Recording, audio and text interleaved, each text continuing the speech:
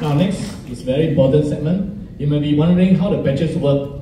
Okay, today we are very glad we have three very awesome testimony sharers to share with you all how their body conditions has actually improved and is very drastically after using the patches for some time. Okay, the very first one, the sharer, currently he's unavailable because he's now in China, but he has given the instruction for us to share his testimonial. I'll get Jonas to share on this person. Jonas?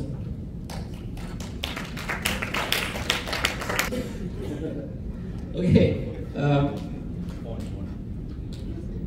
okay, so this uh, this person, Hwee Khoon, uh, um, uh, he started uh, actually patching just you know a few months ago only.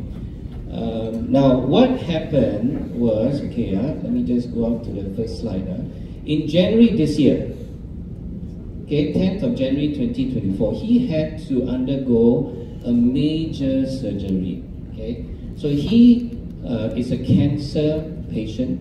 Yeah, um, in fact, I think you know his colon cancer is stage four. So he was supposed to have, um, you know, he was actually scheduled, you know, to undergo this already, but he started using our patches before that. Okay, so this surgery was major.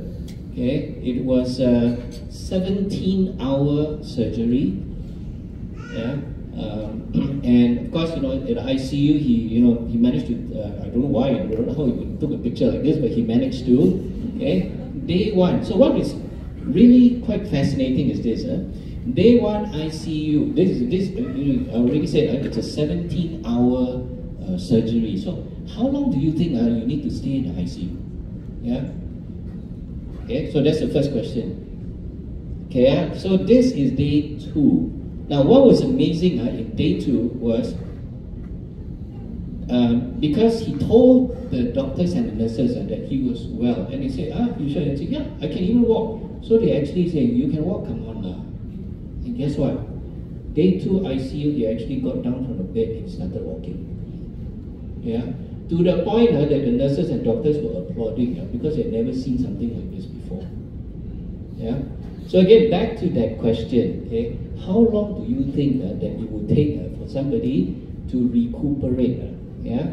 How long would he have to stay in the hospital, you think? This is, you see, is really major, so we just wanted to show you. Okay? now, on the 10th or the 11th, 10th was his surgery, right?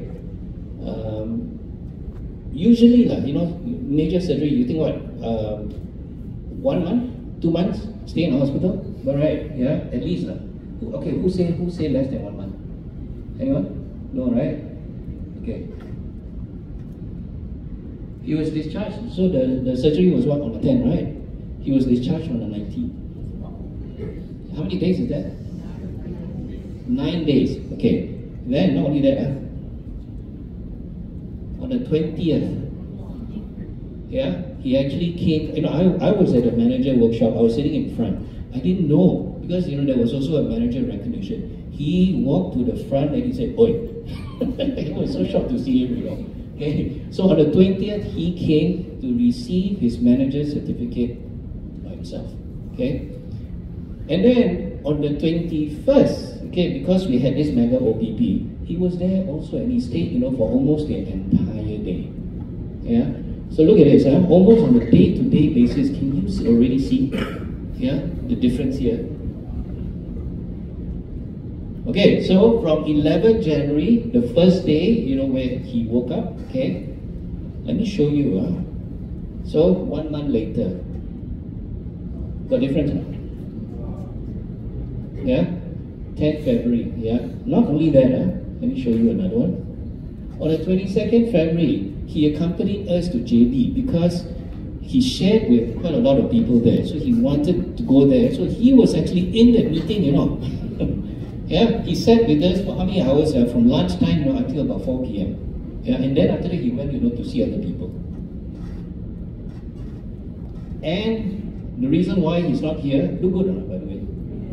Yeah, look excellent, right? So the reason why he's not here is because he's in China. Yeah. So January, major surgery, now then he went to JB one month later, and then now he's in China. I don't know whether in between, you know, he went somewhere else or not. Yeah.